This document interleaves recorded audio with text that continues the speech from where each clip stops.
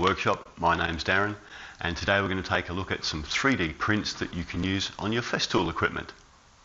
The first item we're going to have a look at is this Festool deflector by Shape Labs and basically what it is is one of these. Uh, you can get these in an accessory kit or individually uh, from Festool themselves or you know a Festool stockist but now you don't have to because Shape Labs have made one you can make yourself. The deflector prints as three parts. There's the main body of the deflector, a little capture piece that you put a bolt through, and a little nut holder or screw, hand screw, to go on the top.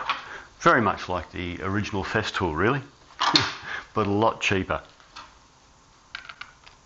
So we just assemble it like so, you put the bolt through here, pop that up there, nut in the top of your hand screw or thumb screw, I prefer hand screw or knob. There we go, and then we slide that over the end of the rail. Why, you might ask, why would you want one of those? Let me show you. And so the purpose of the deflector is to stop the hose or cord catching on the edge of the rail as you make a cut. So as you can see it hits the deflector and just rolls right over it relatively so without catching on the aluminium at the edge. And as you can see this one actually works and works well. Voila. Now one of the great things about being able to 3D print it is you can print it in whatever colour you want.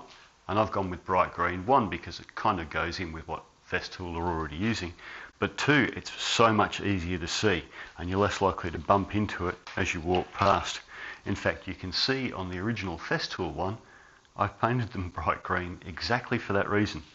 Because uh, back in the day when I had the bigger workbench, this was a little bit closer to it and it was not uncommon for me to bash my hip on it.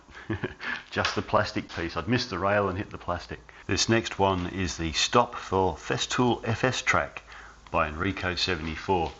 And as you can see, that also prints as three parts and then you assemble them with a nut and a bolt, much like the last one. And much like the last one, they go on the Festool track. This piece acts as a T slot or turns a nut into a T nut if you like that slides into the guide rail at the side. And then Enrico 74 has made three different versions of this, but for the purposes of showing you what it does, I only need the one.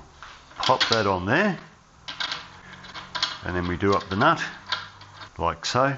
And that acts as an end stop for stop our cut. So let's grab a piece of timber I'll show you what I mean. Okay so let's say for example I wanted to make a cut that didn't go all the way through this piece of timber. And perhaps I wanted to make that same cut maybe several times as I've moved this piece of timber out to uh, make a notch for example in the edge. Or for some other reason I just wanted to stop a cut at a certain spot repeatedly that's where this comes in. So we slide this up to where we want to stop our cut.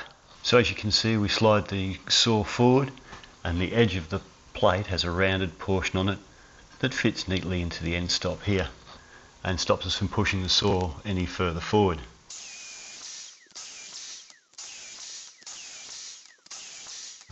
So there we are, you can see what I mean here. Each cut is stopped in the same spot um, obviously we don't have to just leave it at this point, we could have cut in further. Uh, we, could, we could pretty much do it anywhere where the track would allow. So obviously we're not limited to just a small cut like I've done, this is just for demonstration purposes. You obviously have the full range of the actual track. But here's an extra thing you can do with it that I don't even think uh, the designer thought of himself. I used to have to take the saw off the track every time I wanted to lift the rail up. But now I can just push it against the end stop. As long as I don't lift it too far, that stops it from sliding off the end. I can take my piece of timber out, make a cut, pop it back against the end stop, move my timber, make another cut, and so on. So it's proved to be a very handy little piece of equipment. Small, quick to print, but uh, inevitably will save you a lot of time. This next one's really simple too, but has saved me a fair bit of frustration. The problem with the older OF1010 routers is the little vacuum port is elliptical rather than round. So in order to get your vacuum hose to attach to it, which is circular, you have to deform it. You have to squeeze it out of shape and place it over. And uh, I can tell from experience they do split from doing that. I've split one from doing exactly that. So, I've printed out one of these.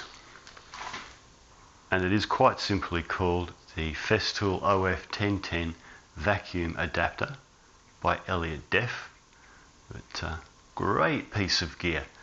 I've printed it out in 100% uh, infill TPU and it's just rigid enough to hold its shape and just flexible enough to fit over the edge here.